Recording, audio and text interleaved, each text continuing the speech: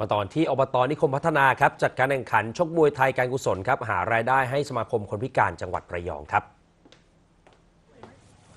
ที่เวทีมวยชั่วคราวครับ สมาคมคนพิการจังหวัดระยอง นิคมซอย 4ตำบลนิคมพัฒนาจังหวัดระยองครับนายประสงค์เล็กโล่งนะครับนายกองค์การบริหารส่วนตำบลนิคมพัฒนา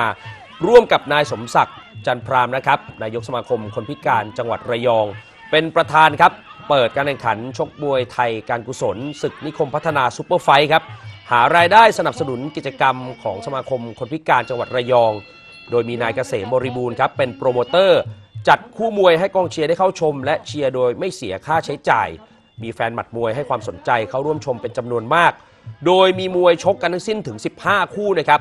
มีคู่ชกชิงแชมป์จำนวน 4 คู่ อาทิยอดวิชาจอมทัพมวยไทยครับ เจอกับเพชรฮิรันสอนนิรไทยนะครับ แล้วก็ยังมีคู่มวยประกอบรายการอีกมากมาย ส่วนคู่เอกครับมีระดับปออนุสาสตร์นะครับ